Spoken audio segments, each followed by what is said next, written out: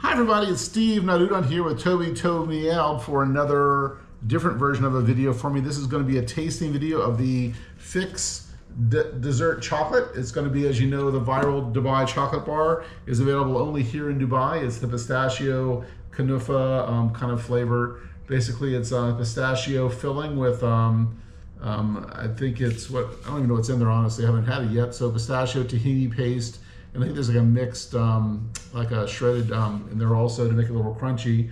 But I'm gonna try it now and see what it's like. Obviously, um, this has been a bit of a viral thing around the world, people doing this on TikTok and so forth. So I live in Dubai, and I figured I might as well get it delivered because you can't get them here. It's not available anywhere else. This is only a Dubai exclusive. Obviously, everybody else in the world is doing some um, inspired by chocolate bars, very similar in style to it, but this is the original. I'll give it a try. As you're probably aware, cats should not eat chocolate, so Toby will not be having any. Much to his dismay, I did give him a big, um, big um, serving of um, treats beforehand, so I think he'll be okay. But um, we'll see how he does um, with this um, chocolate bar tasting with him in my lap and me eating chocolate with uh, pistachio inside of it. So with that said, let's give it a go. So the bar does come from um, Deliveroo is the only way you can get it. You can't get it directly from the manufacturer. You get it delivered on Deliveroo. They release between um, 2 p.m. and 5 p.m. every day on the Deliveroo app. You have to kind of fight to get them. You have to cart. It's like almost like getting shoes in that they always do kind of um, uh, get in your cart, then they get taken from your cart. You can't check out, so it's definitely a fight to get them. But eventually, I was able to get a bar um, yesterday. It does say you must eat it within three days and you must keep it refrigerated. So there's some safety concerns about how it's handled and how it's um, kept. So I'm not sure do, you can do much with it as far as getting it elsewhere in the world shipped over there. You have a three-day window before they consider it to be um, not necessarily as um, safe. Um, you can't get um, enough of it, so you decide can I get enough of it. Um, let's try the chocolate bar and see how it goes. Um, Toby is being a little bit extra precocious today. I got him back from the um, daycare I keep him at when I'm traveling. So he's been gone for about a week and a half when I was gone. And he's extra attentive right now. So let's see how he behaves when I try to eat the chocolate. So I'm going to try to do this and hopefully he understands this is not for him. Um, the packaging is kind of more handmade. It's definitely, um, this is a small business. This is not a big corporation. Um, the local um, people that do this started a chocolate company back about three years ago in the last year or so has really taken off with the viralness of this one kind of bar. So the supply and demand is really kind of crazy on this. It's really hard to get the bar. The amount they make on a daily basis is kind of limited. And they're all handmade. So let's go ahead and push Toby on the side. Hey buddy, move of the way. Thank you.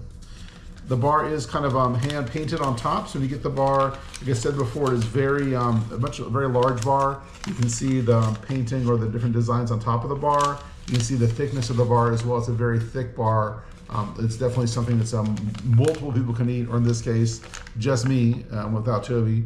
Um, but I'll probably have this for a couple days before I um, finish the bar. So let's go ahead and crack it off and see what we're dealing with here. And of course, you see the big thing of this one is the filling. It is filled with this um, pistachio cream, the knafeh, which is um, very popular. Toby is very interested. Got to keep him away from it. So let's take a bite and see how it is. And Toby's going to hopefully not get too close to it. Mmm. That's really good. It's crunchy, sweet, chocolatey, a little salty, pistachio, real good combination. I can see what all the fuss is about.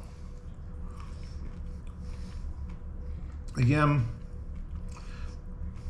milk chocolate, not a dark chocolate, and that you can see in the center there, the filling, the green pistachio with this like um, like a wheat or a um, phyllo dough in there as well.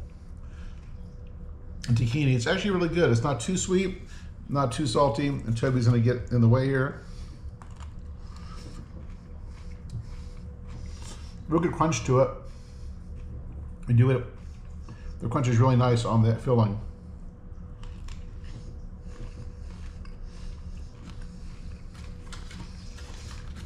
As I say, can't get enough of it.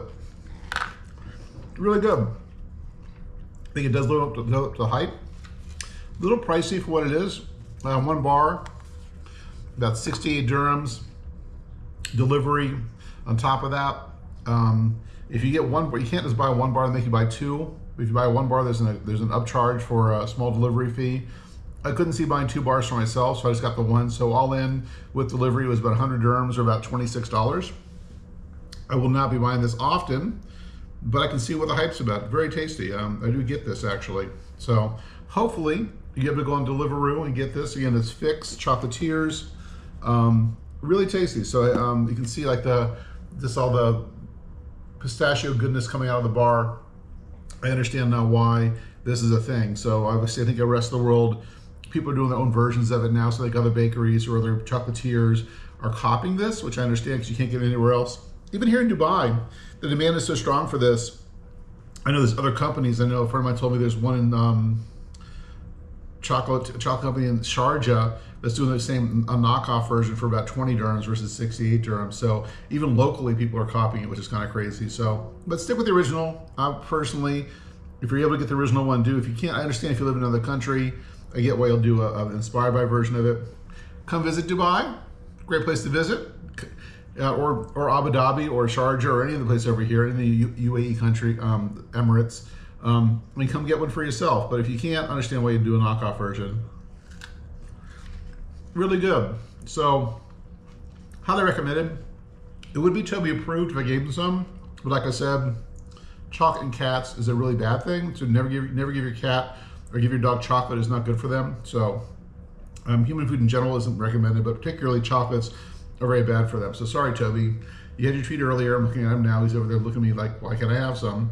Don't worry, he'll get treat. He'll get dinner later on too. So that's it for today. Um, actually, it's a very tasty treat. I'm glad I got this. So, in the room and say hi. I'll say hi back to you. Go out and buy a bar. Support a local business that's doing really well. It's kind of cool to see a local brand um, get the international acclaim and attention and do really well. So hopefully um, they continue continuing success for them. It's always nice to see a local company do well. So that's it for me. All right. Um, sure to follow me, Notudon, N-O-T-U-D-O-N on Instagram, as well as on YouTube. Um, on YouTube, you can follow me at Troll Wrangler or Notudon. Either one works. All right, take care. See you in the real world. Alrighty, bye.